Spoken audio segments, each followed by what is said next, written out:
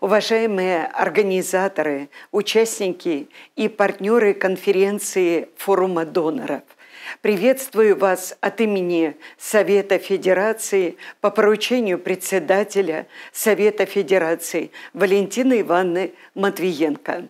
Ваши конференции проводятся ежегодно, но это всегда большие события в жизни и нашей страны, и уже 20 четырех стран мира. С каждым годом количество участников растет. Интерес действительно огромный.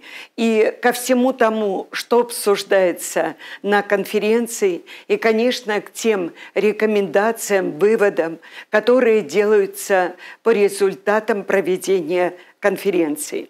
Время, в которое проводится в этом году конференция, особенное – все страны мира практически переживают трудные времена в связи с пандемией коронавирусной инфекции.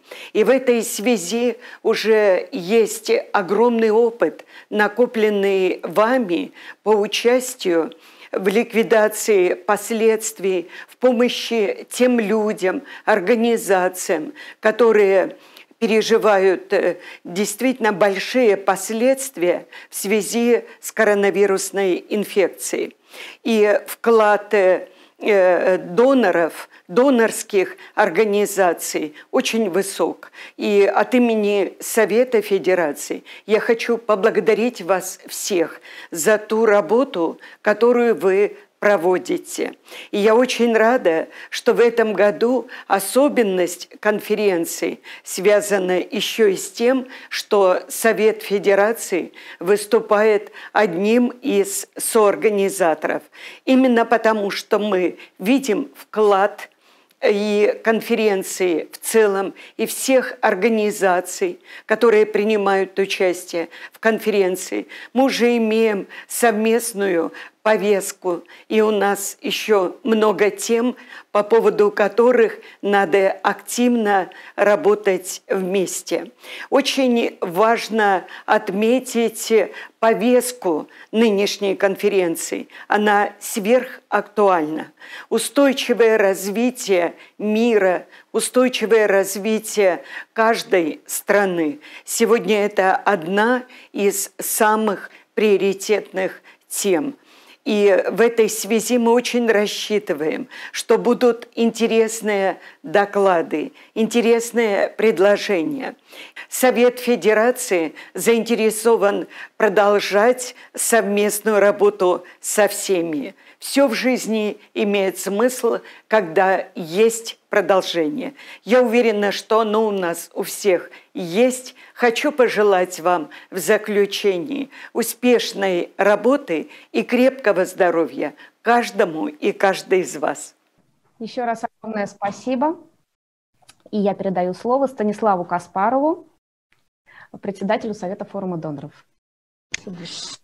Добрый день, уважаемые коллеги была такая, была такая, знаете, задумка немножечко на широкую аудиторию, уважаемую, рассказать про площадку, про конференцию форума доноров, про то, какая-то, на мой взгляд, авторитетная, ну, как показывает сегодняшний опыт, может быть, не вполне еще пока технологичная или, или, или не вполне везучая э, на технологии э, площадка, но все-таки она э, ну, такая ключевая и, на мой взгляд, действительно наиболее авторитетная дискуссионная площадка российской филантропии в самом широком смысле слова.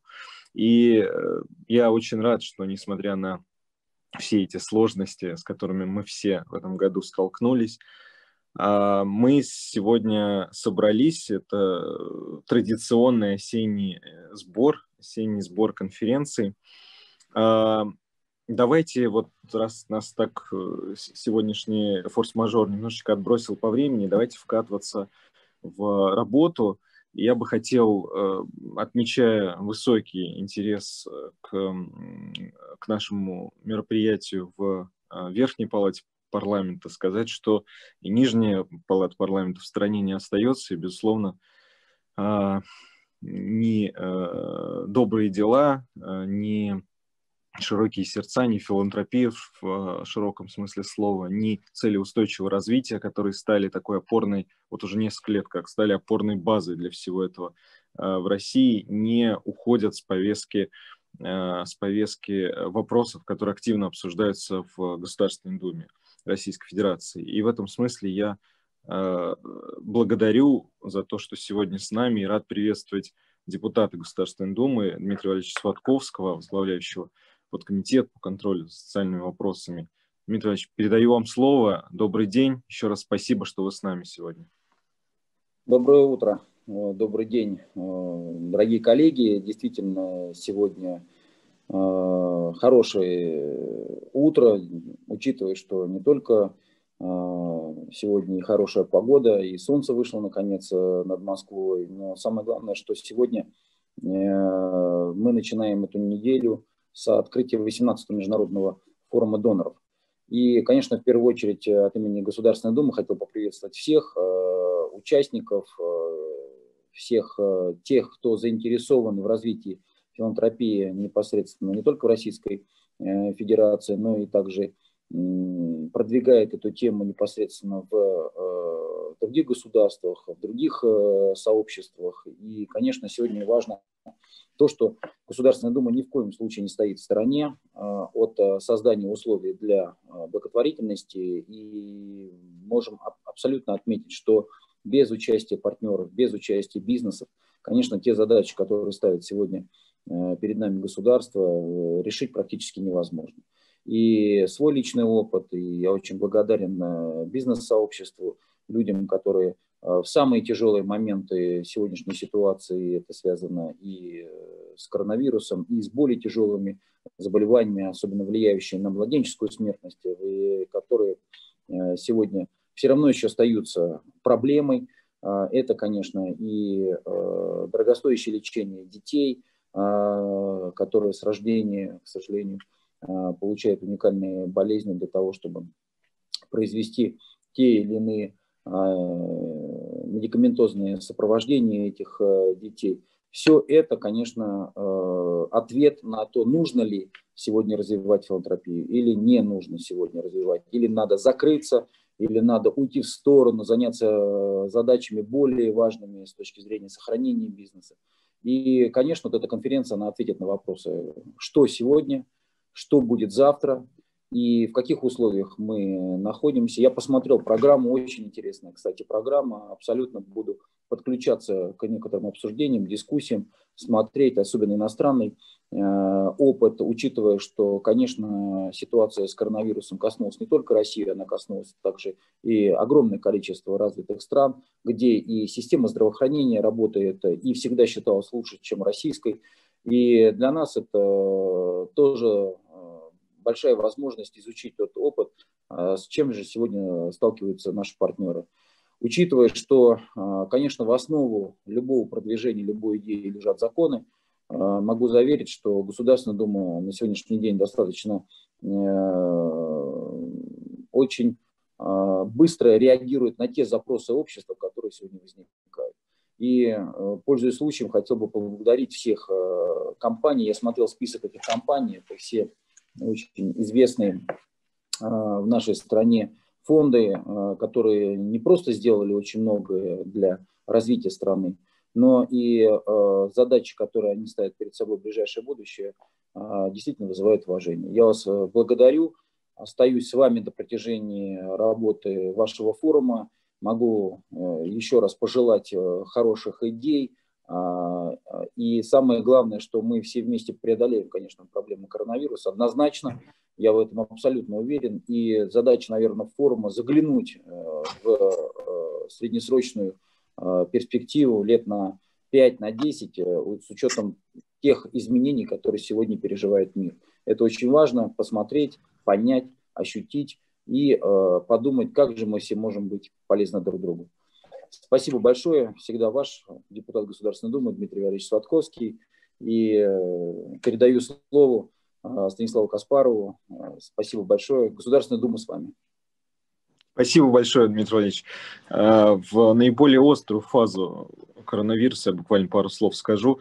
Это, наверное, апрель-май. Вот эти э, слова, эта фраза Дмитрий Валерьевич Сватковский всегда с вами, а, а, она приобрела не, не пустое, наполненное звучание.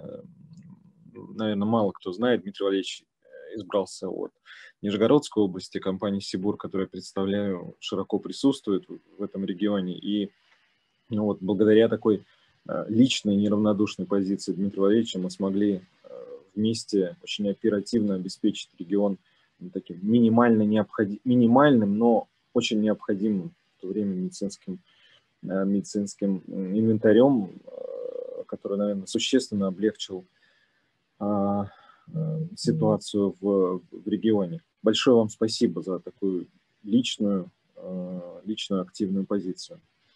А, еще один человек, которого я хочу с особым трепетом, теплотой представить, э, тоже человек, с которым мы лично проходили такой же путь, но существенно э, в существенно более далекой географии, дальневосточной географии, в Амурской области, с которым тоже буквально э, на личной телефонной связи были весь этот период, лично дирижировал лично дирижировали а, поставками необходимой медицинской техники, медицинского оборудования в самые такие тяжелые моменты э, кризиса. А, человек с большим сердцем, я говорю это на базе, на базе нашего долгого знакомства, и человек, с которому Амурской области очень повезло, как с губернатором, Василий Александрович Орлов, который любезно к нам сегодня присоединился – Василий Александрович, с удовольствием передаю вам слово. Добрый день, уважаемые друзья. А, мы очень внимательно здесь, на Дальнем Востоке, следим а, за повесткой и заходом работы по национальным целям развития и целям устойчивого развития ООН. Некоторые из них у нас уже реализуются в регионе в рамках регионального плана.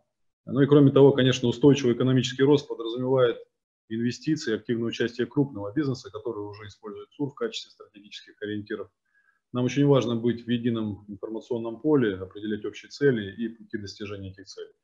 Вы знаете, что, возможно, не знаете, но Амурская область – это один из наиболее динамично развивающихся регионов э, на Дальнем Востоке точно, но и в стране. У нас строится сразу несколько очень крупных объектов. Это и космодром, расширение БАМа Транссиба, большие проекты по международному сотрудничеству. Но по капитализации, по масштабам, конечно, главный наш проект – это газовый кластер – у нас, вы знаете, в прошлом году была введена в эксплуатацию сила Сибири. Э, завершается строительство газоперерабатывающего комплекса «Газпрома» и начато строительство газохимического комплекса «Сибура». И, конечно, мы с этими организациями выстраиваем э, комплексные взаимоотношения. Э, у нас между областью, между региональной властью и бизнесом уже запущен целый ряд механизмов поддержки некоммерческих, некоммерческих организаций – мы ведем системную работу по поддержке общественных организаций и инициативных граждан здесь, э, в регионе. В частности, у нас э, созданы и успешно действуют ресурсные центры по поддержке некоммерческих организаций, волонтерской деятельности. И вовлечение активистов значительно содействует общественный совет, который создан при строительстве АГПЗ и АГХК. Кроме того, компания «Сибур» с 2020 года включила три муниципальных образования нашей области. Это Благовещенск, Свободный и Свободинский район – в свою программу, очень хорошую программу «Формула хороших дел». И в октябре текущего года э, был объявлен конкурс э, проектов социальных, были проведены образовательные сессии для потенциальных участников грантового конкурса, коими являлись представители НКО, общественных организаций, муниципальных и региональных органов власти. Хочу подчеркнуть, что сейчас в мире в России и у нас в регионе в том числе особую роль играют проекты экологического просвещения, экозащиты. И очень важно, что в эти проекты включается молодежь. У нас в Благовещенске сразу несколько высших учебных э, заведений участвуют. Это студенты Благовещенского государственного педагогического университета и Амурского госуниверситета. Они являются победителями конкурса студенческих волонтерских проектов, поэтому мы горячо поддерживаем инициативы бизнеса который заключается в проведении конкурсов волонтерских проектов, активными участниками которых, собственно, является студент БГПУ и АМГУ. Но я не могу не сказать несколько слов о коронавирусе. Этот год, конечно, очень тяжелый.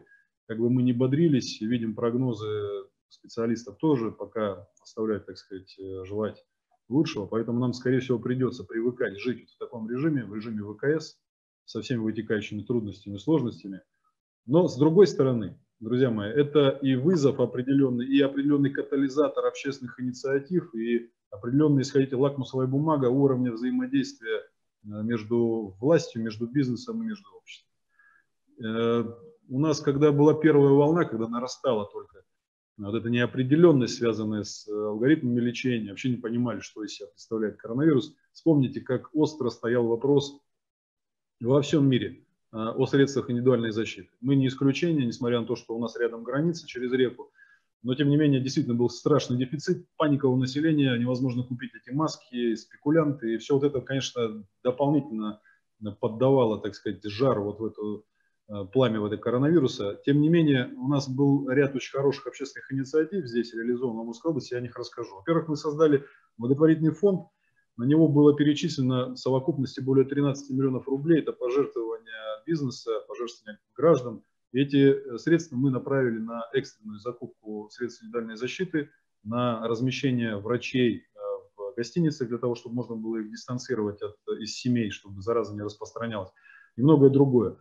Э, хочу отдельно поблагодарить крупные компании, которые подключились к этим событиям. Это в первую очередь компании Сибур Газпром. Была осуществлена поставка десятков тысяч комплектов против противоэпидемиологического э, снаряжения. Это и респираторы, и одноразовые перчатки, и костюмы соответствующие. Э, отдельно э, хочу сказать, что был фактически с нуля построен госпиталь э, в городе Свободном, отремонтировано несколько военных, заброшенных уже военных госпиталей, несколько корпусов. Э, было поставлено дорогостоящее оборудование, в том числе томографы новейшие, э, ИВЛ и концентраторы, то, чего нам действительно очень сильно не хватало помогли при, в приобретении автомобилей скорой помощи и организовали сюда к нам на работу порядка 100 врачей из других регионов. Нам действительно было это очень важно. Еще одна тема – это по-новому заиграли волонтеры вот в этой истории. У нас в регионе было 600 человек привлечено волонтеров, которые, основная задача которых была доставка продуктов питания, всего необходимых э, товаров для людей, э, которые находились в группе риска – это граждане с возрастом 65 и старше, они находились на самоизоляции. И вот задача волонтеров была развозить эти продукты питания. 20 тысяч наборов а, было приобретено за счет спонсоров продуктовых наборов, и их доставили вот эти 600 человек. И в завершении своего выступления хочу поблагодарить вас за внимание и отметить, что это очень здорово, что такие вопросы, вопросы государственного, в том числе регионального развития, не только экономика, но жизнь в широком смысле обсуждается с привлечением высококвалифицированных авторитетных экспертов, как на этой конференции, это дает э, уверенность нам в том, что мы сможем справиться с любой опасностью, выстроить единые цели и совместные цели достигнуть. Спасибо. Спасибо большое, Василий Александрович. А, знаем, что, знаем, что торопитесь, знаем, что жесткий график, поэтому не претендуем на ваше время больше. Еще раз огромное спасибо, что присоединились. И я, пользуясь случаем, хотел бы э, порекламировать немножко Амурскую область э, значит, всей э, площадки форума доноров, всей, всей палитре компаний и фондов, которые входят в состав форума доноров для реализации различных инициатив на территории этой области, точно знаю и эмпирически проверено нами, что вот в этой области зеленый свет всем добрым инициативам исходит и от губернатора, и от его профессиональной команды. Всегда, никогда не сталкиваемся с э, вопросами, препонами, барьерами. Всегда только зеленый свет. Спасибо вам еще раз огромное за такую персональную позицию. Спасибо. Хорошего дня. Спасибо большое. А, ну, собственно, наверное, завершая вот эту приветственную часть, еще раз поблагодарю всех, кто нас поприветствовал и так вот, не задаваясь целью, но подсчитал а, шесть раз произнес Василий Александрович слово «помогли», несколько раз корень слова, со, несколько раз слова с корнем «помощь» прозвучали в речи Дмитрия Валерьевича Сватковского. Ну вот, собственно, это, наверное, лучшая иллюстрация актуальности нашей конференции в этом году, нашей запланированной на неделю работы. И я, собственно, еще раз возвращаюсь к утренней заминке э, с надеждой, что лимит заминок мы исчерпали. Я бы нам пожелал хорошей плодотворной работы. Ее актуальность, наверное, уже очевидна.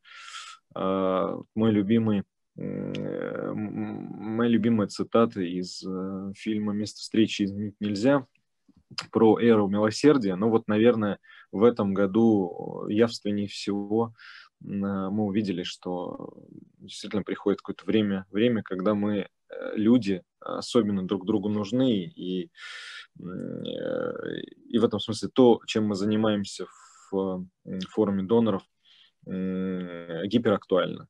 А, спасибо большое, коллеги. Я желаю нам плодотворной работы и передаю слово Александре Болдыревой. Станислав, огромное спасибо. А, и мы возвращаемся к нашей конференции и ее анонсу. И, а, как мы уже говорили, наша конференция будет в течение пяти дней, и у каждого дня своя тема. Сегодняшний день максимально широкий. Говорим про цели устойчивого развития, мы говорим про достижение цели устойчивого развития Э, компаниями, бизнесом, некоммерческими организациями, государством. Мы говорим про позиции, которые есть у нас в обществе. И я бы хотела передать слово члену Совета форума доноров Наталье Гончар, начальнику департамента корпоративных отношений Сахалин Энерджи. Наталья, ваша компания – как амбассадор э, целей устойчивого развития. Мы с вами обсуждали эту тему еще задолго до того, как объявили этот год. А, поэтому подскажите, пожалуйста, а, способна ли нас объединить эта э, тема, действительно актуальна ли она для всех, насколько она действительно э, звучит сейчас в мире? Спасибо. Добрый день, здравствуйте, коллеги. А, приветствую вас с Дальнего Востока а, а, России, еще восточнее, чем Амурская область, Сахалинская область. Конечно, сложный очень год, и, как вы все знаете, кризис у нас и экономический, и социальный. И э, в этой ситуации та тема, которую мы э, избрали для этой конференции, еще не зная того, что нас, собственно, будет ожидать в 2020 году, она, конечно, как э, никогда актуальная. Вы все знаете хорошо, что Всемирная организация здравоохранения объявила вспышку COVID-19 как чрезвычайную ситуацию международного значение, и вслед за ней и Российская Федерация, и многие регионы нашей страны, и а, компании, а, в том числе, как минимум, объявили режим повышенной готовности к ЧС. То есть мы с вами и каждый из нас столкнулись с некими вызовами да, на международном и федеральном, региональном, корпоративном и, что ж греха таить, личном уровне в том числе. И а, в этой новой реальности с новыми а, вызовами, наверное, а, каждый из нас, отвечая на какие-то вопросы, добавляет что-то свое на уровне компании, на уровне, опять же, личном, в глобальный такой алгоритм ответа на всеобщий вызов. Где в этой системе координат вообще ЦУ? А, и вспоминаем ли мы о них в такой сложной кризисной ситуации. Понятно, что когда а, страны, в том числе Российская Федерация, подписывали эту глобальную а, повестку дня, никто не ожидал, что в 2020 году мы столкнемся с чем, чем столкнулись. Да? И компании, которые на протяжении многих лет с разной степенью глубины инкорпорируют ЦУР в свои политики, в том числе политики устойчивого развития, тоже, собственно, ну, не ожидали, что начнется пандемия, но в этом, наверное, и смысл а, глобальной повестки дня, если она действительно глобальная и про всех, что называется. А то, что в этой сложной ситуации глобальная платформа становится общей и объединяющей для ответа на вот эти глобальные вызовы. Конечно, есть вещи очевидные, и, например, третья ЦУР, э, которая, мы знаем, посвящена хорошему здоровью и благополучию, понятно, становится в повестку дня автоматически практически всех компаний. Да?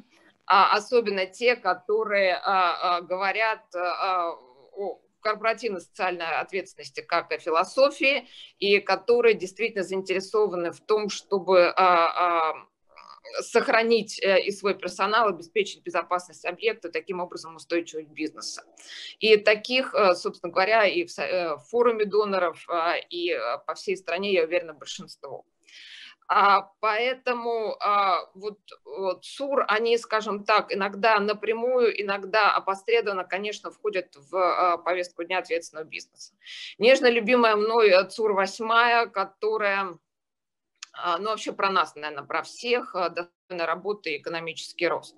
С одной стороны, сложно вроде говорить про экономический рост а, в условиях глобального кризиса, а с другой стороны, а, вот сама комплексность этой восьмой цели, которая не только про экономику, как мы все с вами знаем, и про экологию, и про социальные аспекты. Вот комплексность задач, а, вернее, цели и задач, которые в нее входят, дает возможность и для комплексного ответа, в том числе на эту цель и связанные с ней задачи. А для комплексного ответа, для концентрации усилий, может быть, а, в той ситуации, когда компании, может быть, где-то ограничены э, в ресурсах. Ну и не могу не сказать про 17-ю а, цель в свете тематики сегодняшней конференции. Мне кажется, что вообще вот текущая ситуация – это такой вызов КСО в целом и вообще уровню социальной ответственности компаний в том числе. Потому что, наверное, сложно бизнесу, а, мы с вами все прекрасно понимаем, но мы также прекрасно понимаем, что есть много людей вокруг нас, которым еще сложнее. А, это гражданское общество, это некоммерческие организации. И мы, как социально ответственные партнеры, конечно, заинтересованы в том, чтобы вот это партнерство наших успешных партнеров сохранить и поддержать. Если говорить о компании Сахалинаджи, которую э, я представляю, а, мы с марта месяца в красной зоне и сейчас в этой же зоне находимся. У нас повышенный режим, э, режим повышенной готовности к ЧС, но мы не просто не сократили а, а, социальные инвестиции, мы на несколько десятков э, миллионов их увеличили, и все они дополнительно пошли на сектор здравоохранения, были закуплены, о чем Василий Александрович а, говорил и Станислав, а, медицинское оборудование, чтобы с помощью бизнеса все, скажем так, вот вся общественность, вся медицинская инфраструктура была готова и к первой, и ко второй, и, не дай бог, и третьей волны коронавирусной инфекции. И, наверное, самое главное, а, о чем мы будем говорить, наверное, все дни э, нашей конференции, она у нас много тематическая, но ЦУР объединяющая, а, мы будем говорить о том, а, а какие, собственно, уроки мы извлекли и будем продолжать извлекать весь этот сезон, какие новые механизмы, какие а, новые вызовы а, перед нами стоят, какие изменения а, мы в результате этих вызовов будем применять в наших стратегиях, в том числе в стратегии благотворительности.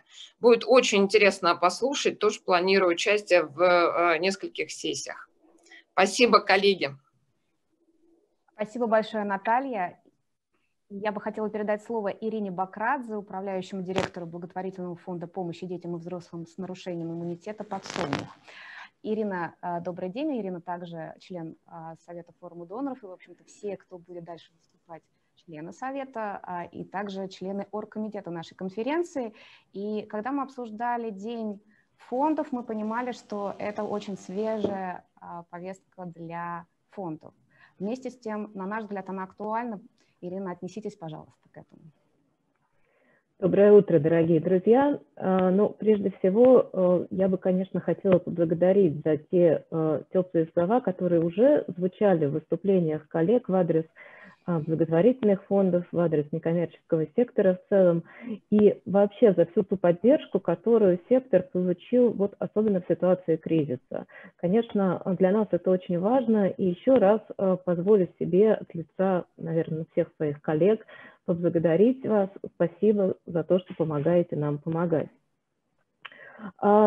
Мне также очень приятно, что э, в этот раз э, такое внимание уделяется э, благотворительному сектору, и действительно это не случайно, потому что за последние уже даже, я сказала бы, несколько десятилетий и во всем мире, и в нашей стране благотворительные организации сыграли огромную роль, воплотили в жизнь важнейшие социальные инициативы.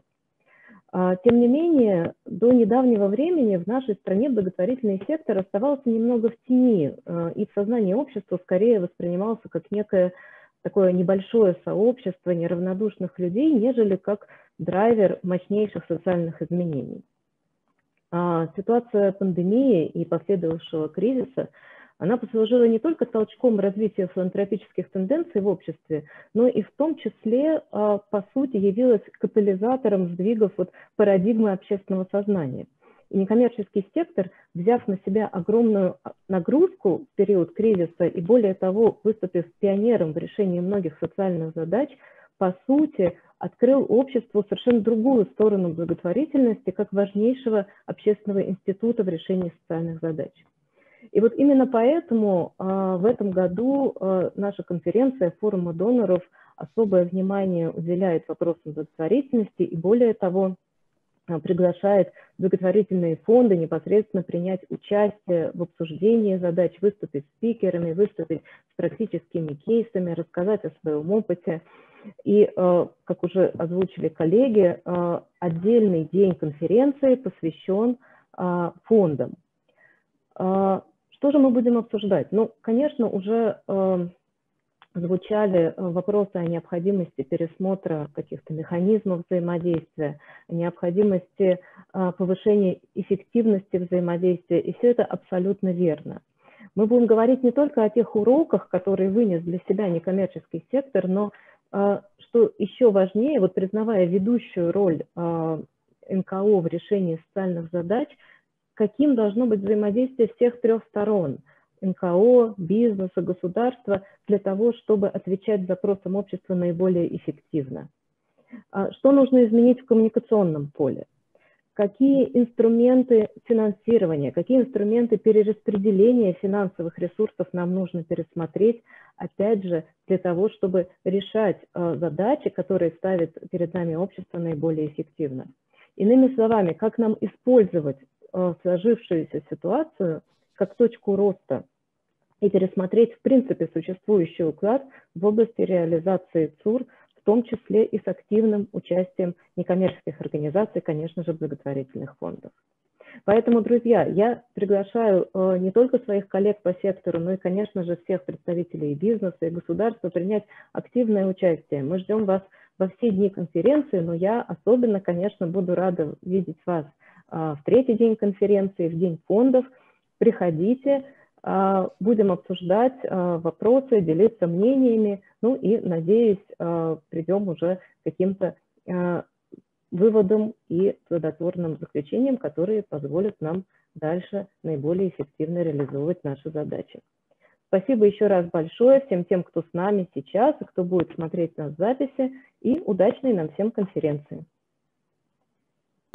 я вот э, ехал, э, ехал, хотел сказать, ехал сюда к нам на конференцию, ехал к себе в рабочий кабинет сюда к нам на конференцию и думал, что на моей памяти, ну вот несколько этапов переживала э, работа по выстраиванию да, социальной повестки, повестки а, социальных инвестициях в корпоративном секторе. Мне кажется, мы плюс-минус ходим все одними тропами, а, что мы все бури, что в коллеги в других а, больших и, может быть, не очень больших компаниях. Но, тем не менее, вот этот эволюционный путь, он был... Сначала мы занимались такой вот спорадической благотворительностью, там, если, это, если мы говорим о компаниях, которые широко распределены по России своими активами, то мы спорадически закрывали те или иные потребности тех или иных регионов, а, в, в которых присутствуем, да, и помогали так вот внебюджетно латать э, дыры там, где это было особенно остро необходимо. Потом поняли, что, наверное, наверное, это немножечко, ну, то есть это правильно, но, но и неправильно, с другой стороны, а, подменять собой э, те, те, те фонды и те ресурсы, которые должны этим заниматься. И э, вот такая а, э, какая-то заданная эволюция, она стала идти в сторону того, чтобы значит, осмысливать и осмысленно структурировать свои программы и делать их наиболее такими а, адресными и нацеленными. Так появлялись э, корпоративные программы социальных инвестиций или благотворительности различных компаний, и они приобретали свое такое яркое звучание, свою яркую направленность, свой какой-то неповторимый, неповторимый э, акцент. И значит, э, после того, как эм, вот этот этап мы прошли, мы начали друг у друга очень охотно, независливо заимствовать. Да? Мы, мы ездили, обменивались опытом. Я вот э, совершенно, совершенно этого не скрываю. Помню, что возглавив э, направление социальных инвестиций Сибура, там, у меня одна из первых встреч была с э, Натальей Попель, да, которую мне рекомендовали как очень такого сильного эксперта на, на, этой, на этой поляне, который очень много сделал для, для того, чтобы программа социальных инвестиций э, Северстали, она вот, вот прям звучала, да, и мы с Натальей такой имели, мне кажется, полуторачасовой разговор, где она мне очень глубоко, э, экспертно рассказывала про то, как появлялось та или иная, то или иное направление.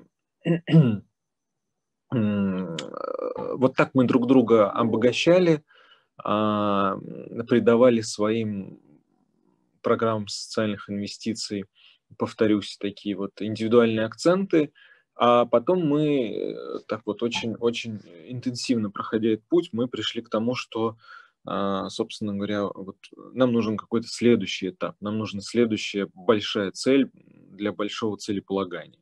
И в этом смысле э, появление на повестке цели устойчивого развития было очень кстати, потому что а, ну, как-то вот мы осознали, что мы как бизнес – реализуя свои программы социальных инвестиций, должны быть все-таки частью какой-то объединяющей повестки. И ЦУРы стали такой объединяющей повесткой. Мы несколько лет в этой реальности живем, и неизбежно э, такая вот э, прогностика, она подсказывает, что подойдем к какому-то следующему, а, следующему этапу, где, оставаясь в русле ЦУРов, мы все равно будем выбирать э, снова каждый для себя какой-то вот такой индивидуальный путь. И в моем понимании, мы много это обсуждаем внутри контура Сибура с коллегами, э, в моем понимании просто обречены, несмотря на то, на то, что находимся все в глобальной повестке цели устойчивого развития, но мы живем и работаем в России, и, наверное, просто обязаны где-то э, в качестве такого следующего эволюционного этапа интегрировать свои, а, интегрировать в свои а, программы социальных инвестиций те акценты, которые нам задают э, национальные цели развития, национальные э, проекты Российской Федерации. И в этом смысле опять для себя открываем то, что работа э, уже органически для нас облегчилась, потому что практически каждая из компаний, которая представлена сегодня здесь и в, и эм, в Совете форума доноров, практически у каждой а, в наборе социальных инвестиций отзываются те цели, да, наука, образование, спорт, здравоохранение, экология, которые являются неотъемлемой частью, неотъемлемой частью национальных проектов. Вот это, мне кажется, такой вот следующий этап э, целеполагания, такого осмысленного, да, практически мы уже сейчас этим занимаемся, осмысленного целеполагания, это следующий этап, и вот здесь э, я ожидаю от, э, собственно, и от программы, которой руковожу в Сибуре, и от других компаний более яркой синергии цели устойчивого развития, цели национальных проектов, а, корпоративной программы социальных инвестиций. Спасибо. А, друзья, коллеги, добрый день. Очень рада тоже со своей стороны всех приветствовать на конференции. А, Станислав, на самом деле, мне очень помог в ответе на этот вопрос и интегрировал очень правильную мысль о том, что пришла пора в нашей стране соединять между собой и цели устойчивого развития, и цели национальных проектов, которые также присутствуют здесь. Конечно, все взаимозависимо и взаимосвязано. И та наша работа, которую мы делаем в рамках своих проектов в области корпоративной социальной ответственности, она так или иначе соединяется с теми большими глобальными вещами. Мне кажется, в этой связи очень важно отметить, что, например, в этом году, этот непростой для здравоохранения год, форум доноров проводит исследование влияния а, работы некоммерческого сектора и корпоративной социальной ответственности на достижение как раз целей национальных проектов и цели устойчивого развития. То есть очень а, правильно мы выбрали момент в прошлом году, еще не ожидая, что так все получится. А возвращаясь к теме пандемии COVID-19 а, и того, как, как вся эта ситуация развивалась, конечно, и фармацевтическая отрасль, и здравоохранение в целом вышли на авансцену. Я не помню ни одного дня с января, наверное, когда в заголовках СМИ, в новостях не было бы ничего про пандемию COVID. Каждый день э, история либо про там, статистику заболеваемости, либо про лечение, про вакцины, про все остальное. То есть таким образом буквально в момент хорошее здоровье и благополучие, то есть наш ЦУР номер три, стал целью каждого. То есть все разделили а, важность и значимость этой истории. Все поняли, насколько устойчивость системы здравоохранения влияет на устойчивость общества в целом и на а, устойчивость экономических систем потому что в отсутствии возможности бороться с пандемией эффективно, а, к чему мы пришли? Мы пришли к ограничительным мерам, а, к ограничению работы бизнеса, к таким, я бы сказала, финансовым а, потерям для некоммерческого сектора, которые привели к тому, что какие-то проблемы не могли решаться в том объеме, в котором они решались привычным образом. Фармацевтическая отрасль, как я уже сказала, в этой связи была впереди. Мы не могли остановить свою работу потому что нам важно было предоставлять лекарственные средства пациентам, которые без них где-то могут умереть, где-то не могут эффективно бороться. Точно так же, я уверена, не могли остановить работу и фонды, которые а, и без этого основной своей повесткой задачи считали поддержку различных групп пациентов, либо адресную помощь. При этом те фонды, которые, например, занимались другими вопросами, например, профилактика домашнего насилия, оказались в более сложной ситуации, на мой взгляд, потому что эти темы, эти проблемы ушли на второй план. И здесь э, коллеги уже говорили про помогать, помогать друг другу. А, мы наблюдали множество примеров, как э, другие а, фонды, другие НКО, например, КАФ, КАФ России сделал фонд быстрого реагирования, из которого средства могли поступать от различных доноров а, и э, физических лиц, и, само собой, больших доноров корпоративных, для того, чтобы потом помогать более мелким, скажем так, НКО, да, более сфокусированным на других проблемах НКО. То есть у меня такая, знаете, картинка в голове, что все дружно взялись э, за руки, все э, пытались помочь друг другу в регионах присутствия, э, на уровне всей страны и так далее. Джонсон Джонсон, например, передала более 150 миллионов рублей в денежном и неденежном выражении на борьбу с ковид не только в России, но и в Украине и странах СНГ. То есть мы, мы тоже делали свой максимум. А, коллеги упоминали о том, что, например, Сахалин Энерджи, да, Наталья говорила об этом, а, какие-то компании взяли и смогли а, увеличить финансирование социальной повестки. И мне кажется, очень правильно было, что форум доноров делал исследование, барометр, который как раз нам показывал, кто как реагирует из корпоратов на меняющуюся историю. Меняли ли компании свои приоритеты? не меняли, могли позволить себе инвестировать больше, либо не могли. То есть мы пытались держать руку на пульсе, и э, в ходе конференции попытаемся поделиться с вами и этими наблюдениями, и э, этими результатами. Я хочу здесь перейти уже к такой небольшой, знаете, рекламе наших предстоящих сессий и обратить ваше внимание на а, день практикумов, это четверг, в который мы как раз поговорим и о цели устойчивого развития номер три, Э, хорошее здоровье и благополучие, и о других ЦУРах и 4 номер 5, где представители разных э, секторов и бизнеса, некоммерческих организаций обсудят э, те итоги работы, может быть, свое видение о том, как работа должна быть построена в будущем для достижения этой цели. Помимо прочего, в этом году, мне кажется, впервые как раз в таком диджитал-интерактивном формате мы представляем новый, новый вариант взаимодействия аудитории со спикерами, экспертами. Это э, такой формат интервью, когда в течение 30 минут э, исполнительный директор форума доноров либо один из лидеров беседует с экспертом. И сегодня, сразу после этой сессии, Саша, например, проведет беседу с Олегом Кобяковым, И э, мы, наконец, с вами, наверное, узнаем все, почему же Всемирная продовольственная программа получила Нобелевскую премию мира. Я понимаю, что, скорее всего, все уже этот вопрос изучали, но тем не менее. Мы пытаемся мне кажется, за эту неделю, именно благодаря цифровому формату, передать вам максимум. То есть вот формат позволяет нам расширить возможности повестки настолько, чтобы каждый нашел что-то для себя полезное и интересное. Поэтому э, я завершу здесь свою э, такую тираду по теме и здравоохранения, и более широкой. Я желаю вам провести продуктивное это время вместе с нами и э, уверена, что эта совместная работа поможет нам хорошо подготовиться к следующему году, который, я уверена, пройдет в других условиях. Не знаю в каких, но точно совершенно все будет не так. Спасибо. А, конечно, вопросы климата и экологии, они занимают значительную часть а, повестки устойчивого развития, и зеленая экономика, она играет а, вообще важнейшую роль в достижении ЦУР. И я хотела бы поделиться некоторыми наблюдениями, фактами и, возможно, прогнозами по этой теме.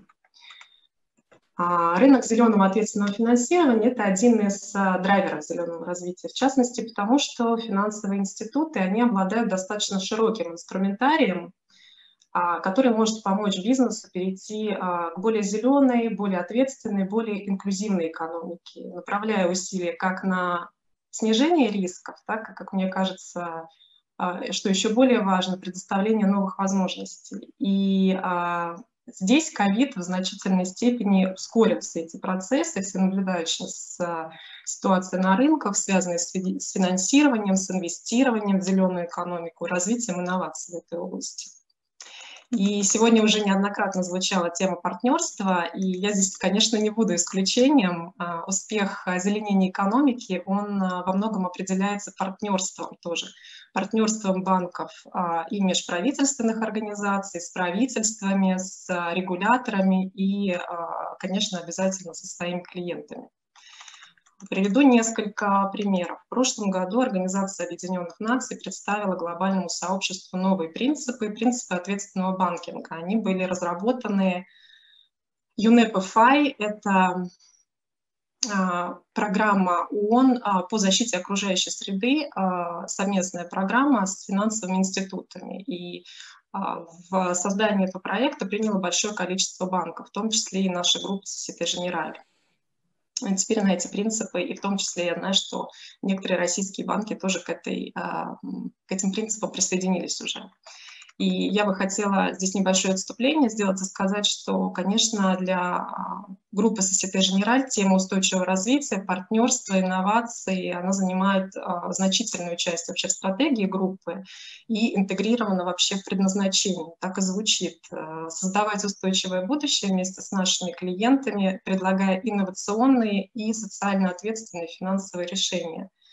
И вот чтобы а, поддержать наших клиентов в этом переходном периоде, а, группа, собственно, уже на протяжении многих лет наращивает экспертизу, в том числе в области, например, чистой энергетики.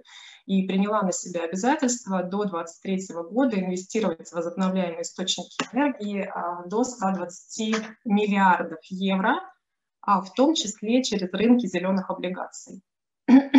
Вообще нужно сказать, что в России рынок зеленого финансирование еще весьма молод, а, но уже есть а, значительные достижения. Сейчас формируется регулирование в этой области и постепенно создаются а, вообще условия для зеленого развития. Возвращаясь к партнерству, скажу, что Росбанк, он участник комитета рабочей группы Банка России по созданию концепции долгосрочных инвестиций, которые уже включают в себя социальные зеленые проекты. А, весной этого года Центральный банк а, обновил свои стандарты эмиссии, определяя в них уже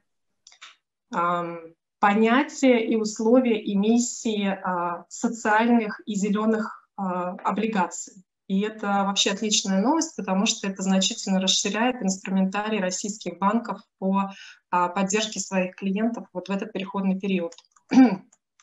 Конечно, очень важно отметить индексы устойчивого развития РСПП и Московской биржи. Мы все про это знаем, и, возможно, коллеги об этом будут говорить еще на конференции а, сегодня или в другие дни. Также я, конечно, хотела бы отметить на мой взгляд, одну из таких важнейших составляющих успеха достижения ЦУР и целей а, Парижского соглашения. Я говорю про энергетический переход. А, вопросы энергии и изменения климата, они вообще неразрывно связаны, и а, все убеждены, что цели Парижского соглашения достаточно сложно достигнуть без амбициозного плана по а, ускорению изменений в энергетическом секторе, без инноваций здесь, без инвестиций, без инвестиций в инновации. И говоря про энергетический переход, конечно, это гораздо больше и шире, чем просто переход к возобновляемым источникам энергии. Здесь речь в том числе может идти про энергоэффективность, и это меры, которые предпринимаются как корпорациями, так и частными лицами по сокращению потребления, по сокращению потребления природных ресурсов. Это очень важный, мне кажется, здесь момент, что мы все несем а, за это ответственность на всех уровнях и государства, и корпорации, и частные лица все. А, необходимость вообще этого перехода, она обусловлена а, многими факторами, но немаловажный, а, такую немаловажную роль здесь, конечно, играет давление общества, и мы, наверное, в какой-то степени тоже с этим столкнулись, но я хотела бы привести пример европейский. Вы, наверное, слышали про манифест европейских студентов, которые отказываются работать на компании, у которых в повестке нет вопросов экологии и климата. И этот манифест за последние несколько лет подписали уже 30 тысяч студентов. Это в основном Франция, в основном Град-де-Коль, это эквивалент Лиги Плюща, то есть это будущая элита.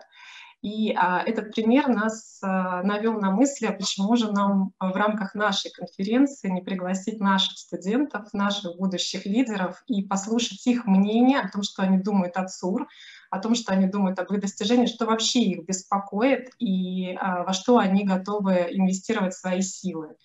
И э, тоже проанонсирую, да, у нас это, это, дискуссия должна быть сегодня вечером. Смотрите программу, присоединяйтесь, должно быть э, очень интересно. Один момент, который не могу оставить без внимания в контексте темы экологии, отмечу недавнюю новость про создание в России а, первого регионального климатического центра на Сахалине, который будет а, оказывать комплексную такую научно исследовательскую экспертную поддержку проектам устойчивого развития, проектам э, с низким уровнем выбросов парниковых газов. И опыт и практику в дальнейшем планируется внедрять э, в других регионах. И мне кажется, что это для всех, для нас просто прекраснейшая, отличная новость, которая вселяет оптимизм и надежду, потому что нам, конечно, необходимо развивать свою внутреннюю экспертизу. И этого нам сейчас немножко не хватает. Ну и вообще, благодаря такой уникальной географии России, природным ресурсам, в России действительно очень большой потенциал а, в области зеленого развития, в области зеленой экономики, и у нас, в общем-то, есть все возможности для того, чтобы занять а, лидирующие а, позиции в этом вопросе. А, ну, думаю, что все события, которые сегодня происходят в области экологии, они так или иначе должны поспособствовать созданию новых возможностей а, для усовершенствования регулирования в области экологии, в области экономики, развития новых бизнесов, секторов и так далее, но это также предоставляет новые возможности для развития и а, профессионализации некоммерческого сектора в этой сфере, и в частности развития партнерства между бизнесом, НКО и государством здесь. И завершая, очень важный момент, который мне тоже кажется а, нужно отметить сейчас, невозможно решить вопросы экологии в отрыве от решения социальных проблем с этим связанных. Да? Мы все понимаем, что переход э, а, к более зеленому развитию, он не случится у нас э, прям моментально. В частности, потому что мы должны учитывать э, необходимость беспрерывного доступа людей к электричеству, к теплу. Это вопрос, который касается рабочих мест, которые э, нельзя закрыть, не создав новые. Мы все это понимаем, и все эти вопросы, они, конечно, должны решаться в совокупности, но при этом мы должны а, помнить о времени, потому что это достаточно быстро необходимо решать. У нас до 30 года а, не так уж много времени уже осталось на решение этих глобальных задач. И э, завтра у нас будет э, тема экологии, будет отдельная сессия по экологии. Кому близка эта тема, пожалуйста, присоединяйтесь, э, будет интересно. Спасибо за внимание. Александра, возвращаю вам слово. Большое спасибо, Екатерина. И э, у нас э, заключительный спикер этой части Ирина Жукова, директор по устойчивому развитию корпоративным программам аффилированной компании Филипп Моррис Интернешнл в России. А, Ирина, день добрый. И а, мы много говорили про партнерство. А, мы понимаем, что партнерство – это самая сложная вещь, наверное, в этой жизни. Что мы можем сделать для того, чтобы выстроить это эффективное партнерство между секторами, государством, бизнесом, некоммерческим сектором? Что вы думаете по этому поводу? А, добрый день, уважаемые коллеги. А, действительно, ну, я не совсем согласна, что партнерство самая сложная история в жизни. Может быть, это все зависит от а, усилий, которые мы хотим предпринять. Давайте я постараюсь коротко, потому что я в этом очень заинтересована, поскольку сессия, которую я буду модерировать, начинается в 12.15, и поэтому я очень хотела бы, чтобы мы начали вовремя. А, мне кажется, что сегодня уже достаточно много мы говорили о том, а, а, что кризис стал, ну, вот эта ситуация с пандемией, она стала катализатором, и вот я даже записала очень хорошее выражение, которое сказал губернатор Амурской области, лакмусовой бумажкой, которая показала, насколько устойчива наша система партнерства. И, безусловно, на мой взгляд, самая устойчивая история была там, где некоммерческий сектор, где бизнес уже внедрял цели устойчивого развития, в бизнес и в операционную деятельность своих компаний или фондов. Почему? Потому что уже были налажены определенные взаимодействия и налажены определенные системы а, взаимодействия, например, если мы говорим про бизнес, то взаимодействие с сотрудниками, то есть переход на удаленку или а, переход э, или продолжение работы на тех предприятиях, где э, нужно было продолжать работу, при налаженных системах взаимодействия с сотрудниками было проще. А, там, где а, у бизнеса уже были хорошие связи и хорошие отношения с некоммерческим сектором и, что самое важное, с, с властью. И сегодня мы как раз вот очень хорошо убедились в этих а, примерах, о которых говорил Станислав и уважаемые губернаторы. Естественно, там степень взаимодействия, она была быстрее и более эффективной. И на нашем примере это мы убедились в этом также, потому что у нас две фабрики, одна находится в Ленинградской области, другая в Краснодаре, и поскольку уже были налажены достаточно серьезные системы взаимодействия, уже мы знаем, уже мы знали э, очень хорошо ландшафт некоммерческих организаций, кто был способен быстро переориентироваться и также вместе с нами начать оказывать помощь а, медицинским волонтерским организациям а, по медицинскому оборудованию или, вот, э, или в обеспечении СИЗами, все это, понятное дело, ну, проходило более быстро и более естественно. И мне кажется, что ну, одним из ключей дальнейшего взаимо взаимодействия дальнейшего укрепления партнерства, это, конечно, продолжение взаимодействия и укрепление, и поиск новых форм совместного, совместных действий, о чем, собственно говоря, мы будем и говорить на нашей, на нашей конференции. И мне кажется, что вот э, то, что в этот раз конференция достаточно такая серьезная, значимая, пять дней идет. Александре э, и коллегам из форума доноров большое спасибо за этот э, а, за ну, такой серьезный вклад в развитие как раз, мне кажется, партнерского взаимодействия, потому что мы видим здесь и представителей бизнеса, мы видим здесь представителей некоммерческого сектора, мы видим здесь представителей э, власти. А, тоже хочу немножечко прорекламировать сессию, которая начнется в 12.15. Мы будем говорить о о том, что дальше после, а, что, что, э, какие дальнейшие шаги нам нужно предпринять в реализации цели устойчивого развития после того, как был сделан уже отчет. Э, вы знаете, что в этом году был сделан российский отчет, э, который был представлен Организацией Объединенных Наций. Вот все вещи, связанные с тем, что, как, потом, с кем и, и как там, мы будем обсуждать в 12.15. Присоединяйтесь. Спасибо.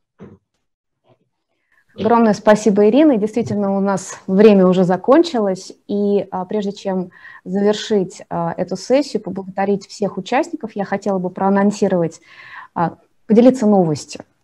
Форум доноров выступит официальным партнером программы развития ООН и международной сети грантодающих организаций ВИНКС – по проекту SDG э, Philanthropy Platform. А, платформа, которая будет посвящена а, филантропии в достижении ЦУР. Мы будем координировать эту работу, и мы очень надеемся, что у нас будет множество дополнительных возможностей для партнерства в рамках этой работы. И а, сейчас я хотела опять-таки поблагодарить всех участников. Мы много говорили про интервью, я думаю, что сейчас не имеет смысл, а, нет, простите, меня коллеги поправляют, имеет смысл сделать пятиминутный перерыв, и через пять минут мы продолжим. А, оставайтесь, пожалуйста, с нами. Спасибо.